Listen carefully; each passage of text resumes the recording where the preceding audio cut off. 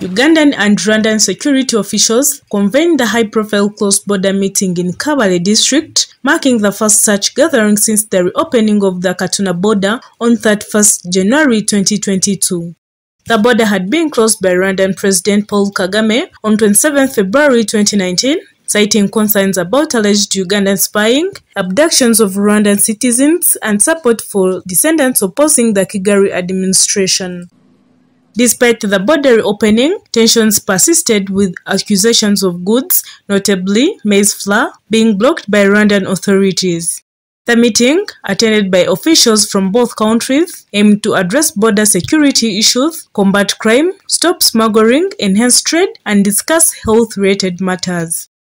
Major General retired Robert Rusoke, the Ugandan ambassador in Rwanda, emphasized that the discussions would focus on enhancing trade, promoting free movement, controlling diseases in humans and animals, and combating smuggling. Recommendations from the meeting are expected to be presented to the respective president for further consideration.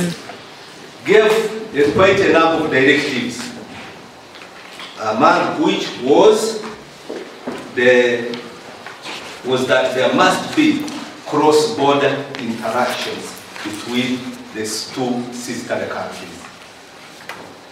Uh, and these cross-border meetings were not going to be held by the heads of state, but by ourselves at different levels.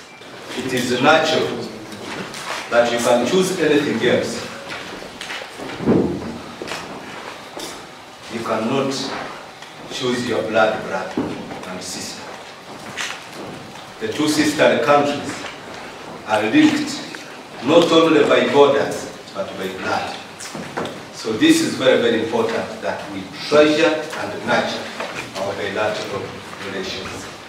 This is not only from me, but also from the political will and aspirations of leaders. When the leaders give guidance, it's the responsibility of the leaders at different levels to as much as possible implement the aspirations of strategic leadership. Why am I saying this?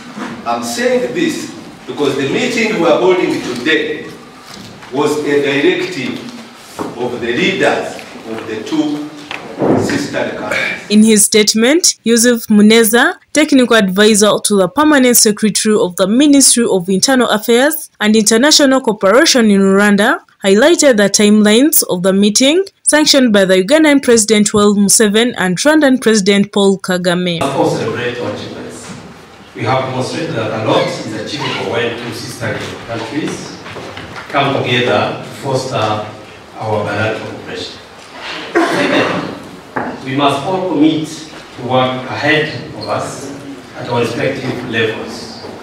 We cannot think of our recommendations as the outcome of our work. We must all resort to translate our, recommendations into concrete advices to our principles that we deliver results to our beneficial, uh, uh, to, to, to that we deliver results uh, to our people. We must be honest that we face, we all face challenges in implementing the recommendations that we have made, but we are committed to the path we are following.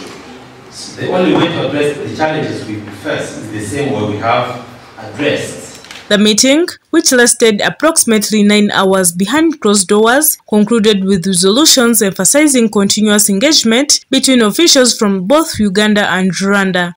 The media blackout during the meeting was lifted for a press briefing at the end, where Yusuf Muneza reiterated the importance of ongoing collaboration between the two nations.